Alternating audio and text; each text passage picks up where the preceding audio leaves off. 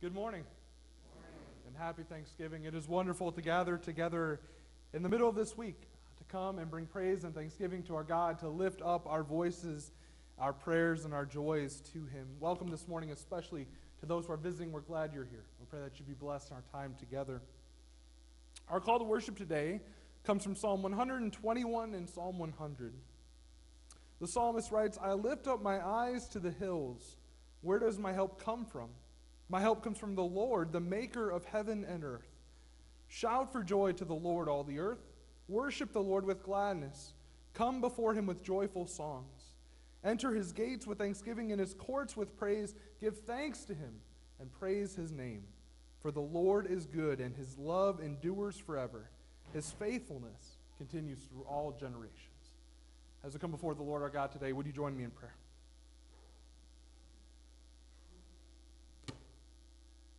Oh Lord, our gracious Father, we are glad, and as we come together this morning, Lord God, even on a day that is, is foggy and, and chilly and uh, a little damp outside, Lord, you are still good. Even though we have come and, and we have aches and pains, we have struggles in our own lives, Lord, we still have so much to be thankful for. And, and Lord, that is because of who you are and because of your continued faithfulness and providence to us. And so, Lord God, as we take an hour or so this morning to, to come before you, to be nurtured again in your word, but also, Lord God, to lift up our, our praises and our thanks in, in song and in prayer. Lord God, would you receive all the glory that you deserve. For Jesus' sake, amen. As we come into worship this morning, let's stand to sing. We gather together.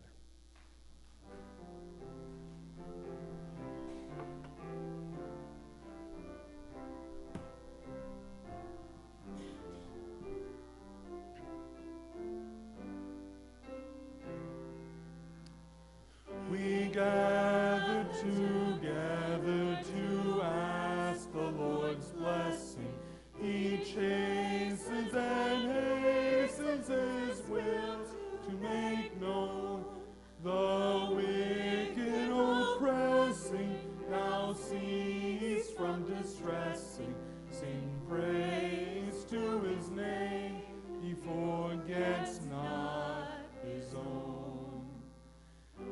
And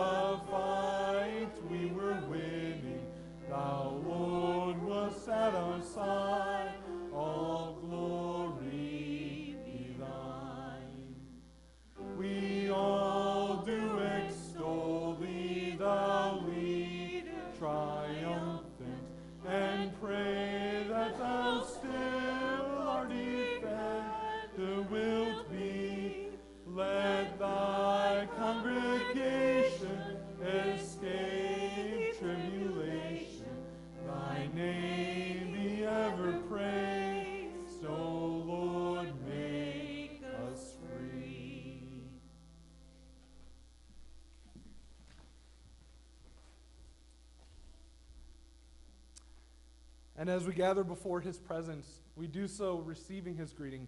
May the grace of our Lord Jesus Christ and the love of God the Father and the fellowship of the Holy Spirit be with you all. And all God's people said, Amen. Amen. Let's continue to lift up our prayers and thanks with We Plow the Fields and Scatter.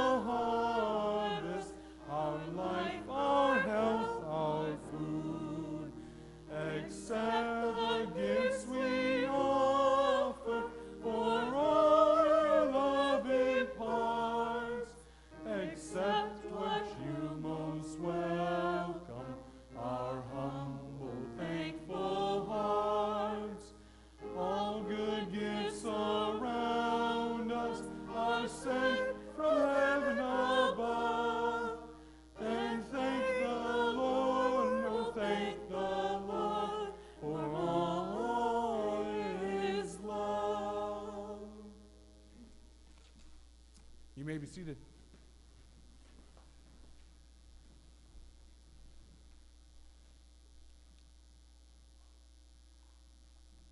As we come together today, much of our service is alternating between songs of praise and thanksgiving and then prayers of thanks and, and praise. Uh, and so at this time, I invite you to, I invite you to join me uh, with this responsive prayer and reading uh, as you can see on the screen. Let's pray together. Let us give thanks to the Lord, our rock, our fortress, and our deliverer. Let, Let us remember his mercy, for he is gracious and compassionate. We thank you, Lord, for calling us to faith in Christ, for putting your Spirit within us, for giving us the mind of Christ, for gathering us into your church. We thank you, Lord, for extending your grace to us, for beckoning us to a life of gratitude, for calling us to service in your kingdom. Thanks be to God. Let us give thanks to the Lord, for he satisfies the thirsty he fills the hungry with good things, and he heals the afflicted. Let us celebrate God's abundant goodness. We thank you, gracious Father, that you provide for all our needs. We praise you, Lord, for all your gifts that go beyond our basic needs, for the things that make our work easier, for the conveniences of modern life, for the beauty and pleasure that you bring into our lives and your church. Thanks be to God. Amen. And now let's sing praise and thanksgiving.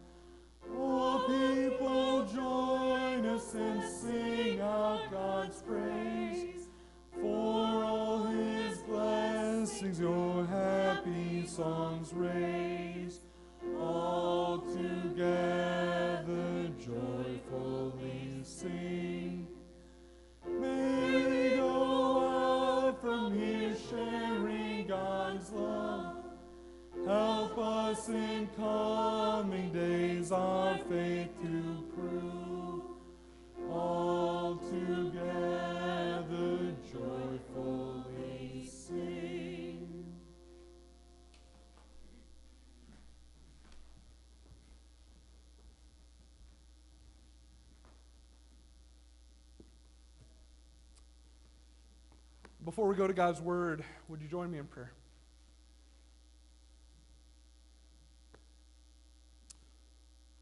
Oh Lord, our God, we give you thanks that you have brought us into this time, that you've brought us into this place, that you are the God who rules over all things, that you are the one who has sent your Son, the Word, and who has continued to give us your Word in Scripture.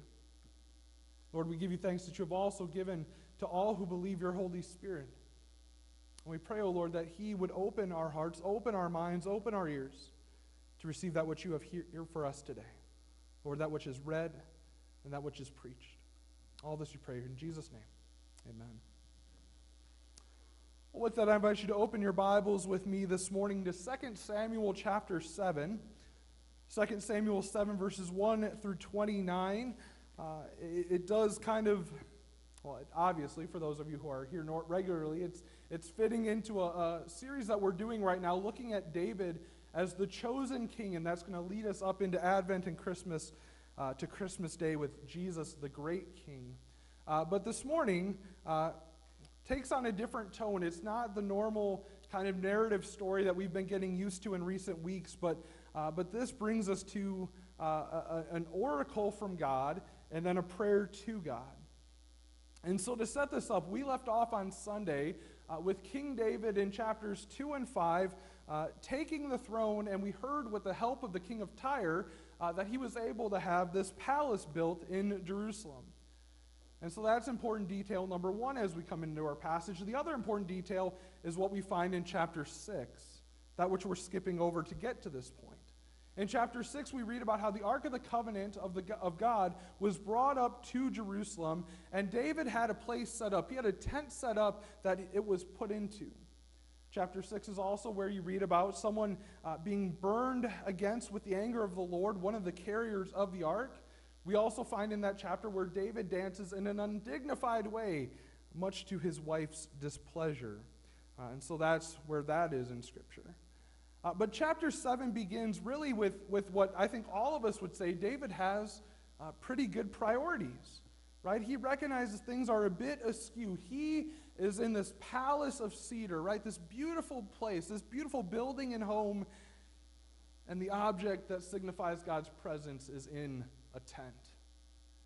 And he says, Well, let's fix this. Wouldn't it be good? Wouldn't it be God honoring if we would give him a building, give him a place that is really fit for the one true God. And what seems like a good idea to man, God says, not so fast. Doesn't actually say that, but that's my paraphrase. Uh, and we're going to read then what God did tell him, what God told the prophet Nathan to pass along to David.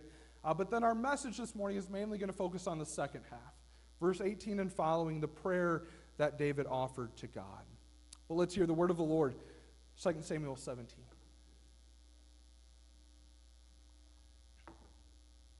After the king was settled in his palace and the Lord had given him rest from all his enemies around him, he said to Nathan the prophet, Here I am, living in a palace of cedar, while the ark of God remains in a tent. David replied to, or Nathan replied to the king, Whatever you have in mind, go ahead and do it. The Lord is with you. But that night the word of the Lord came to Nathan, saying, Go and tell my servant David, this is what the Lord says. Are you the one to build me a house to dwell in? I have not dwelt in a house from the day I brought the Israelites up out of Egypt to this day. I have been moving from place to place with a tent as my dwelling. Whenever I have moved, or wherever I have moved with all the Israelites, did I ever say to any of their rulers, whom I commanded to shepherd my people Israel, Why have you not built me a house of cedar? Now then, tell my servant David, This is what the Lord Almighty says. I took you from the pasture and from following the flock to be ruler over my people Israel. I have been with you wherever you have gone, and I have cut off all your enemies from before you. Now I will make your name great, like the names of the greatest men of the earth. And I will provide a place for my people Israel, and will plant them so that they can have a home of their own and no longer be disturbed. Wicked people will not oppress them anymore as they did at the beginning, and have done ever since the time I appointed leaders over my people Israel. I will also give you rest from all your enemies. The Lord declares to you that the Lord Himself will establish a house for you. When your days are over and you rest with your fathers, I will raise up your offspring to succeed you, who will come from your own body, and I will establish His kingdom. He is the one who will build a house for my name, and I will establish the throne of his kingdom forever. I will be his father, and he will be my son. When he does wrong, I will punish him with the rod of men, with floggings inflicted by men. But my love will never be taken away from him, as I took it away from Saul, whom I removed from before you. Your house and your kingdom will endure forever before me. Your throne will be established forever. And so Nathan reported to David all the words of this entire revelation. Then King David went in and he sat before the Lord. And he said, Who am I, O sovereign Lord, and what is my family that you have brought me this far? And as if this were not enough in your sight, O sovereign Lord, you have also spoken about the future of the house of your servant. Is this your usual way of dealing with man, O sovereign Lord? What more can David say to you? For you know your servant, O sovereign Lord, for the sake of your word and according to your will, you have done this great thing and made it known to your servant. How great you are, O sovereign Lord. There's no one like you, and there is no God but you, as we have heard with our own ears. And who's like your people, Israel? The one nation on earth that God went out to redeem as a people for himself and to make a name for himself and to perform great and awesome wonders by driving out nations and their gods from before your people whom you redeemed from Egypt. You have established your people Israel as your very own forever, and you, O Lord, have become their God. And now, Lord God, keep forever the promise you have made concerning your servant and his house. Do as you have promised, so that your name will be great forever.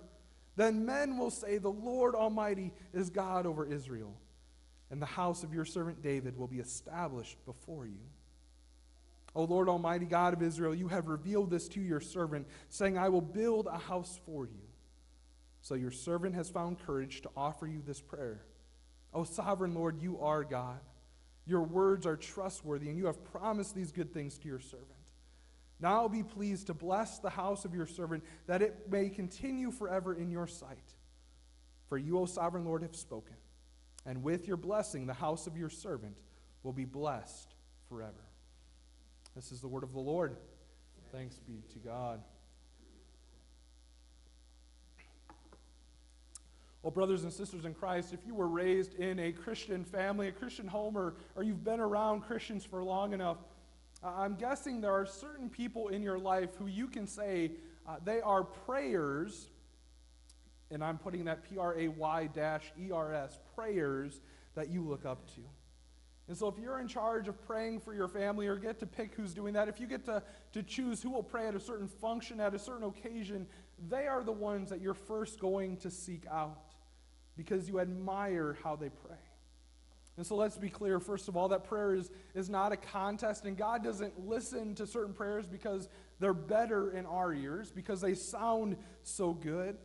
Right? He doesn't listen to other prayers that, that aren't short worded or aren't quick or aren't said with, with trembling and timid voices.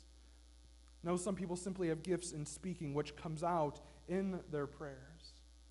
And yet, for every believer, our prayers should be a reflection a, a, a showing of our relationship with God. And so when I was growing up, I remember and I admired my grandpa De Graff for his prayers. When we gathered together at Thanksgiving time or at Christmas or at Easter, the whole extended family would sit around a, a long table just big enough for all of us, and, and grandpa or someone else would open the meal in prayer. And then we'd eat. And the kids would sit and the kids would get antsy, and eventually the parents would decide okay, we've talked long enough and made the kids wait long enough. Now we can have devotions.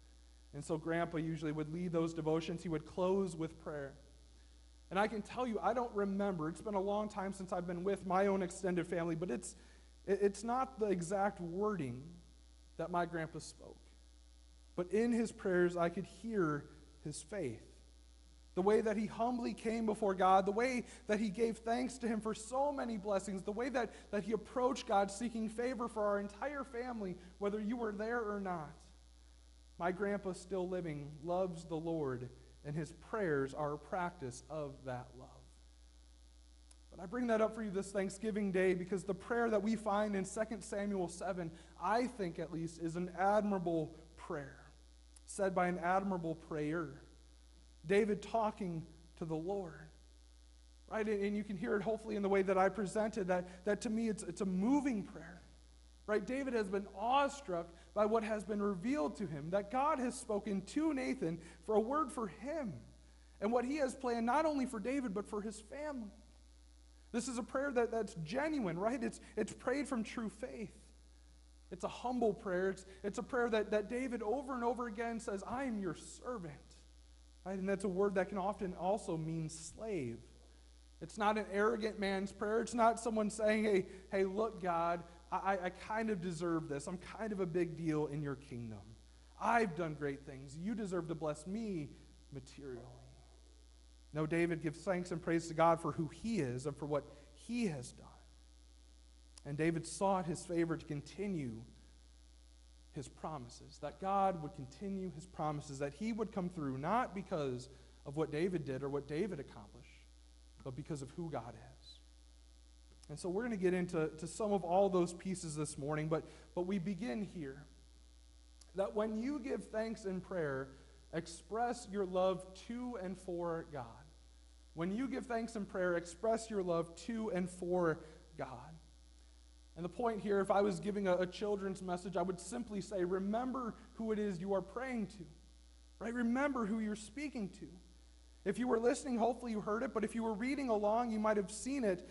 Some form of, of God's name or a title for God is repeated over and over and over again by David.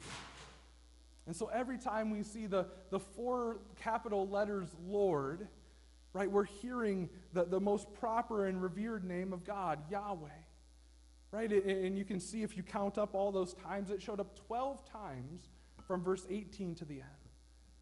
Another word that comes up, another name, another title is the Hebrew word Adon, or, or you hear the word Adonai.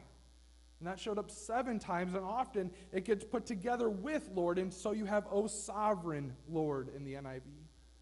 Seven times we heard that word Elohim, and that's simply God. Right? God is referred to. That's who David is addressing. And you'll notice on the screen there's one more Hebrew word up there that's, that's the word Saba. It's the word that we get Almighty from in the NIV, or, or that the ESV and other translations put the Lord of hosts, right? The Lord over all things. And so you read that and, and, you hear this 26 times, if I've calculated right. We hear some explicitly name of God or title for God. And, and yet, who's praying here? This is David. Right? This is David, the king of Israel. He's just been told by Nathan at the request of God, hey, this guy is going to be one of the, he's going to have one of the greatest names. He's going to rank up there with the greatest men who have ever lived. The Lord is going to establish his throne, his kingdom, his house forever. And for many people in our world today that, that end up in power, that would be plenty enough for them to get a big head. That would be plenty enough for their ego to blow up, for, for them to think, well, I, I'm deserving of this. We look at contemporary dictators, and, and some of them go by this title, Supreme Leader. Or you look at kings and queens and, and other leaders, and not to say that they can't be humble, but they have the words majesty and excellency and highness attached to their names. There's at least one recent U.S. president, I'm sure only one uh, if even him, who would consider themselves to have been the best, the greatest president who's ever lived, and I won't name any names. Uh, but even powerful and popular people, when they mention God or when they start to thank God, sometimes it comes off as fake. It seems to come off as just too much. Yeah, God is great, but look at this. I'm, I'm kind of right alongside of God. But in this prayer, it wasn't the case for David. Right? That's not what he does. He's humble, he's unpretentious, he doesn't claim to be owed anything.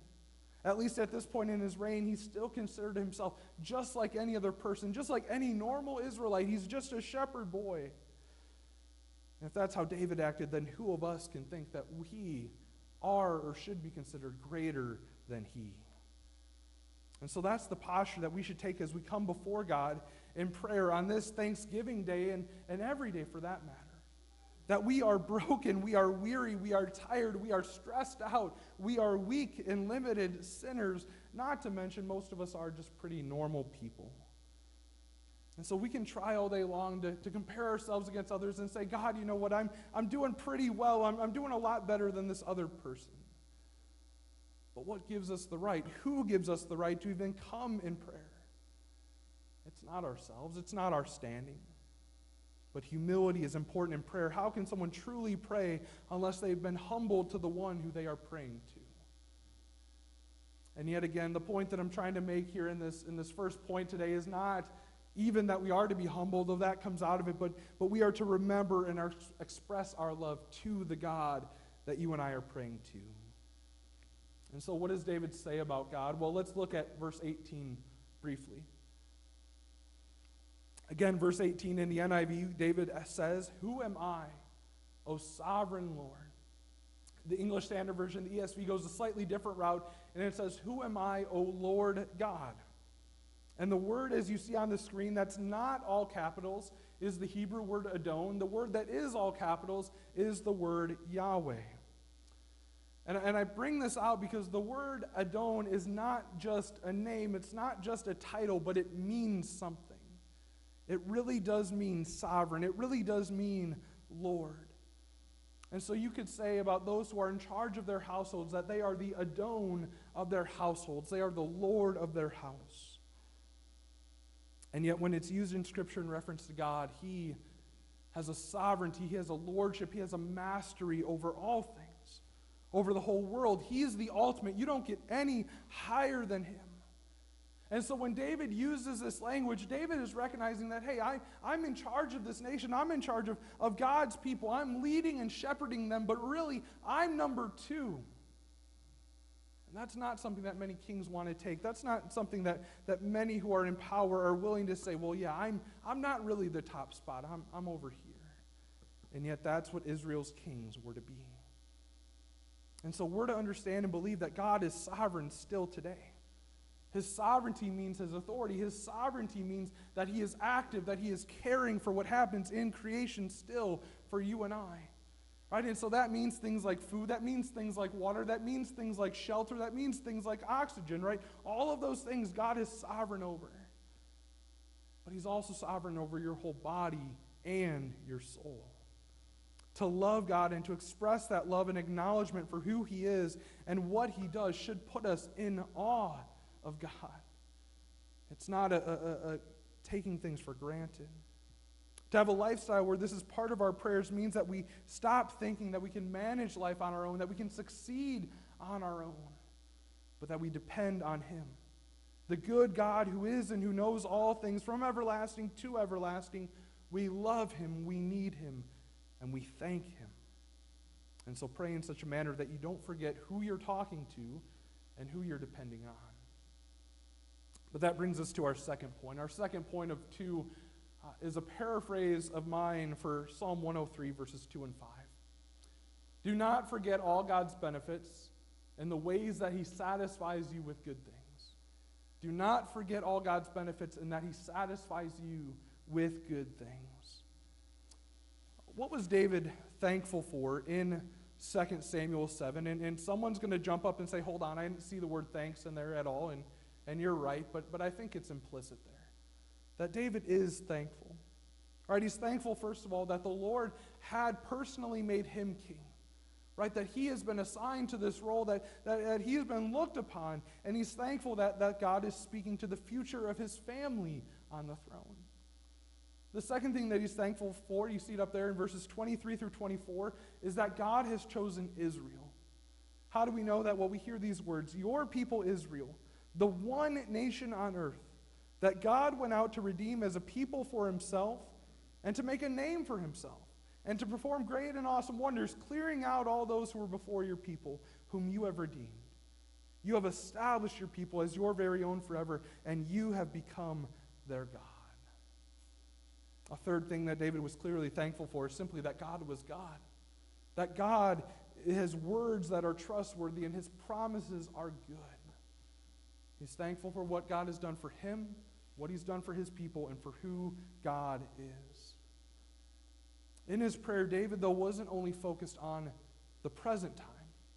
And this is why I, informed you a little bit about where this is coming from, what is, is happening right now. Remember, all of this started with David saying, God, I, I really think I should build you a building, a great building. God says, No, not you, and not now. Right? We read elsewhere in Scripture it's because of bloodshed, it, it's because God has Solomon. We hear that in this earlier part of the passage that his son is going to build that, right? And that's what happens. But also remember, God gave the instructions for how to build the tabernacle. Right? This tent that, that Israel had traveled with throughout the 40 years in the wilderness, and God had filled it with his glory. God had told them what to do. Right? And so the, the tent that God's holy place, his worshiping place had been in for most of time, it, it wasn't just a, a ragtag bunch of bed sheets that some kids put together for a fort. And, and yet, a permanent and ornate structure is not everything. Right? It can represent something in worship. A permanent and ornate structure can be good, but a great building with no people and a lack of seeking God accomplishes nothing. It's not about the building. But again, David wasn't just thinking about the temple anymore. He wasn't just thinking, oh, great, I don't have to come up with plans, I don't have to figure out labor and materials. No, he's mindful of God's provision to Israel over centuries. Right in this prayer, he's talking about how God took them out of Egypt. He's thinking about how God provided for them in the wilderness and sustained them as they finally settled into the promised land, right? The only reason they can even have kings is because they now have a home country. And now God was working with David. Now God was working with the future of his family and Israel together. And God promised that he had different plans for them than what had happened with Saul. David had witnessed that. And God says, Not the same, David. Your family is eternal. Even though David hadn't lived through those times, even though he wasn't going to see his son on the throne, even though he wasn't going to see what happened into the future, he knew, he trusted that the Lord's promises were good and that the Lord was trustworthy. Right? In discipline and in grace and in prosperity, God would provide his people with what they needed. And so David was thankful. And so, what about us? What are we thankful for? I'm guessing most of us are, are, thankful for the food that is already in the stove or, or on the oven, or I got those reversed. Hopefully, your, your food isn't on the oven. That probably isn't going to do much, but you're thankful for the food that is in the oven and on the stove, or it will be soon. We're thankful for the vehicles that got us here this morning that run well, that get us where we need to go. We're thankful for homes and clothes that keep us warm, for beds that, that allow us to have a, a comfortable sleep. We're thankful for family and friends in this church family to gather with and, and to communicate with, even over long distances. We're thankful for electronics, technological, and medical advances. We're thankful for World Cup soccer and for the, the Vikings at least having a good season. Uh, most of those, not all of those, if you didn't realize, have bearing on this day. But are you happy? I, I gave your Vikings some credit. Yeah, all you Vikings fans, you're welcome. but God has satisfied us, and He has well beyond satisfied us with these things and so many more. And yet, I'm still encouraging us to, to do more? To think more broadly, to zoom out just like David did, to think outside of, of this day, even beyond your lifetime. What are you to be thankful for? Well, hopefully, above all things, you're thankful that Jesus came into this world right? That he died on the cross to save you from your sins, that, that he took upon himself the penalty that we deserve. He paid for it. And then he taught his disciples, and they taught their followers, and they taught others, and, and they took it out farther. And so eventually, down the line, it got to us, or it got to our ancestors. And they believed, and they shared it down their family line. We can be thankful that Thanksgiving Day isn't just a day when we're thankful to family, that we're thankful to friends, that we're thankful to a turkey, but we know who is the great giver of all these things. And it's the Lord God. But so too, we can be thankful for the history of this church and the history of the congregations that have shaped you and I, wherever they may have been, as well as the Christian Reformed denomination, right? Despite all, all the pains and all the struggles and all the difficulties that churches go through, we are thankful for them in the midst of ministries and different institutions that have shaped us and formed us, we see God at work in the history of these things, that in His church, He has impacted us. And so, too, we can be thankful looking forward. We're thankful that the gospel continues to spread right here in neighborhoods and communities like our own, as well as in places around the world that are hearing it for the very first time. We trust that God is not yet done growing his kingdom, and so we are thankful to him for that. And we are thankful that one day, we don't know when, Christ will return. Christ will come back. He will gather all of his children to himself. And there will be an eternity of rejoicing and giving thanks with one another to the God who is and who was and is to come. Because he is unchanging and, and he will forever be. And so, brothers and sisters, do not take for granted what we have today. But also do not forget what God has done in the past and what God is yet to do in the future. Be satisfied with all that he offers and pray, expressing your love to and for him. Amen. Let's pray.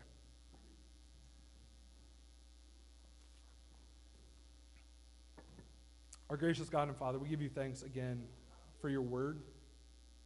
We give you thanks for the example that, that King David set before us. Lord, of his own situation, that, that he was humble, that, that he was trusting you, that he was seeing your goodness. Lord God, that he would honor and depend on you, that he would not think more highly of himself than he ought, even though most people would say that, that he could think much more highly of himself. Lord God, we pray that you would instill that same humility in each one of us, but also that we would be reminded that you are the king on the throne that you are the one who knows all of history and who has had a plan since before the foundations of this world were set. And you will come through. You will do what needs to be done, that your purposes will be served, and you will receive all praise and glory. Lord, may we have that perspective that, that you are over all things, that you are over our lives, and that we are dependent on you. For Jesus' sake, amen.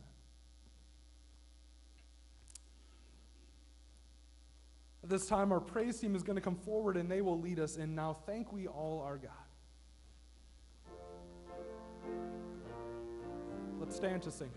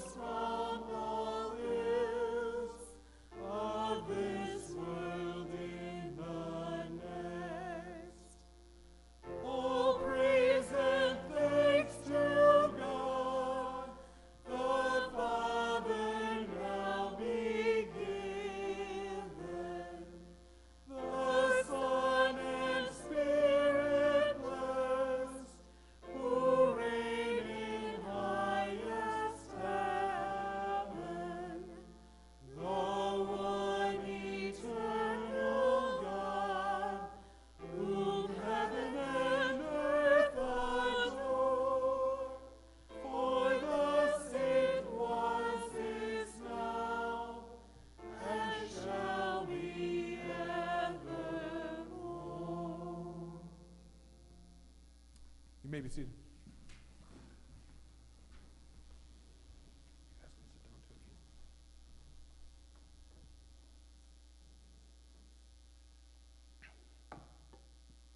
Let's lift up our prayers to God now.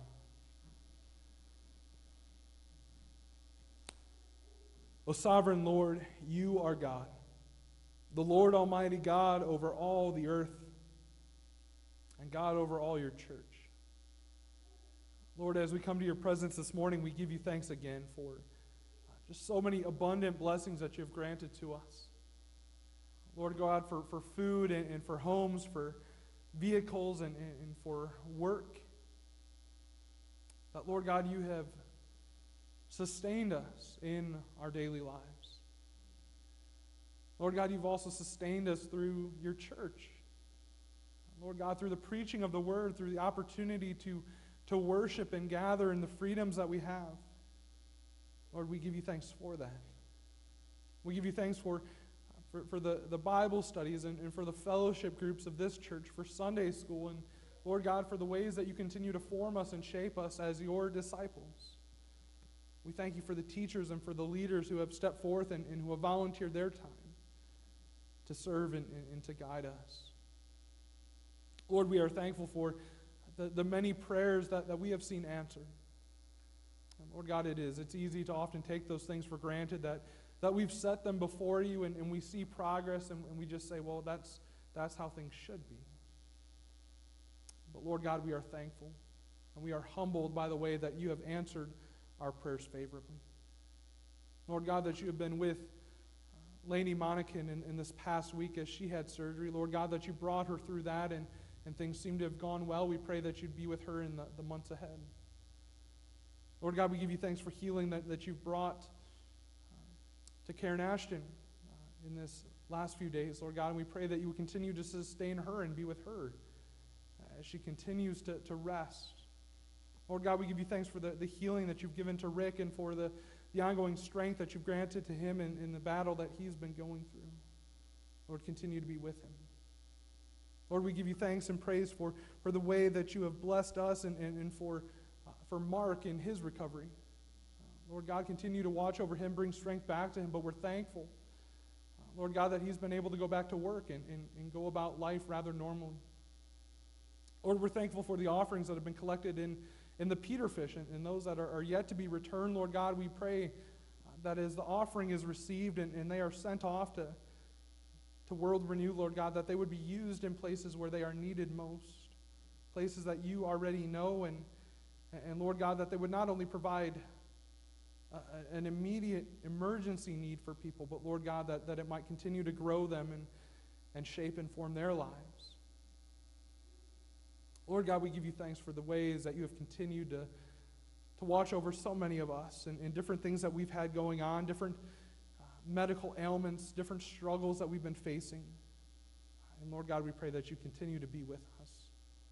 Lord, we bring our petitions before you as as David did that as well. And, and Lord God, we, we pray for safety on the roads today for the many who are, are traveling. And, and Lord God, for, for a blessed gathering of family and friends.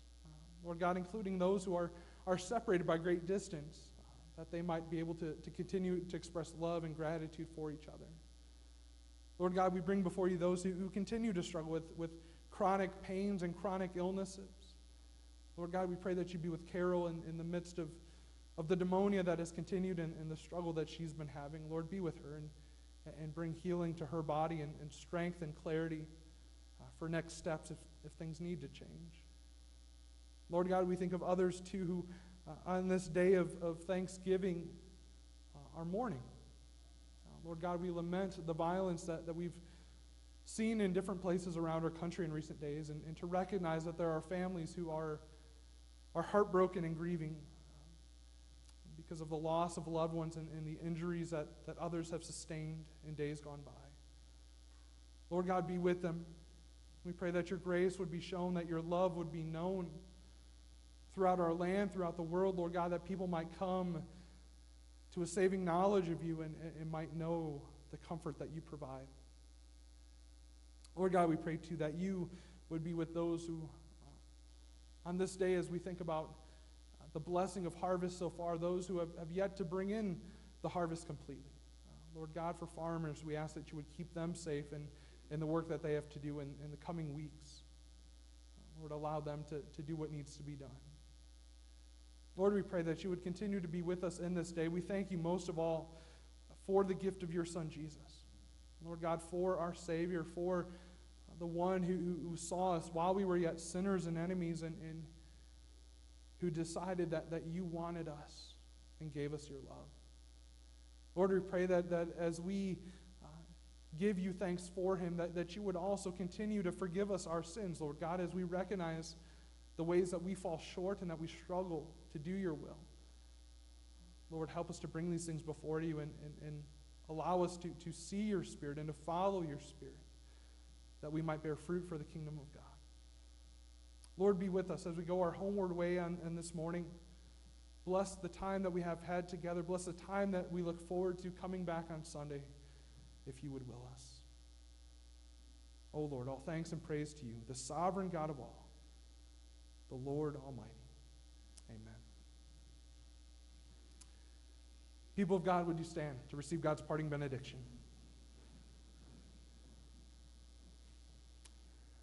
Brothers and sisters, the Lord bless you and keep you. The Lord make his face shine upon you and be gracious to you. The Lord turn his face toward you and give you his peace.